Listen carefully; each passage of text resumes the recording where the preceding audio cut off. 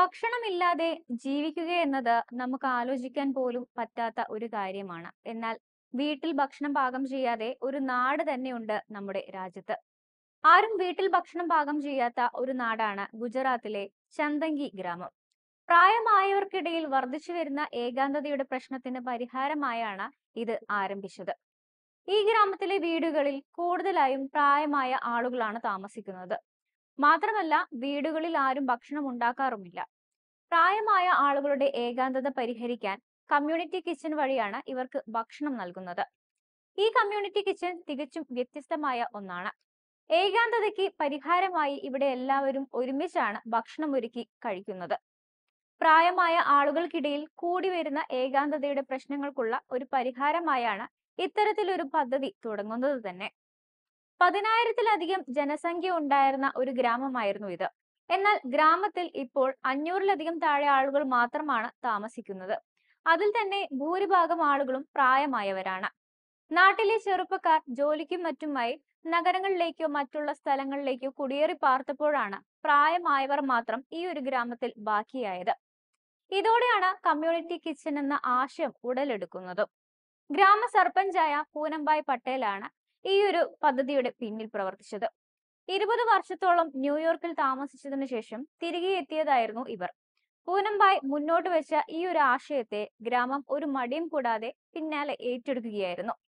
ഗ്രാമത്തിലെ എല്ലാവർക്കും ഒത്തുചേരാൻ ഒരു സ്ഥലവും എല്ലാവർക്കും വേണ്ടി ഒരു അടുക്കളയും സ്ഥാപിക്കുകയായിരുന്നു ആദ്യത്തെ പടി.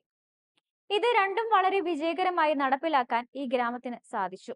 കമ്മ്യൂണിറ്റി കിച്ചണിലേക്കായി രണ്ടായിരം രൂപയാണ് ഒരാൾ മാസം നൽകേണ്ടത്. ആരോഗ്യകരമായ രീതിയിൽ തയ്യാറാക്കിയ പരമ്പരാഗത ഗുജറാത്തി വിഭവങ്ങളാണ് കമ്മ്യൂണിറ്റി കിച്ചണിൽ ഇവർക്കായി ദിവസവും ഉണ്ടാക്കുന്നത്. സാധാരണക്കാർക്ക് മാത്രമല്ല അസുഖങ്ങൾ ഉള്ളവർക്കും കൂടി കഴിക്കാൻ സാധിക്കുന്ന രീതിയിൽ ആരോഗ്യകരമായ രീതിയിലാണ് ഇവിടെ ഭക്ഷണം തയ്യാറാക്കുന്നത്. സൗരോർജത്തിൽ പ്രവർത്തിക്കുന്ന എയർ കണ്ടീഷൻ ചെയ്ത ഹാളിലാണ് ഇവിടെയുള്ളവർക്ക് ഭക്ഷണം വിളമ്പുന്നത്.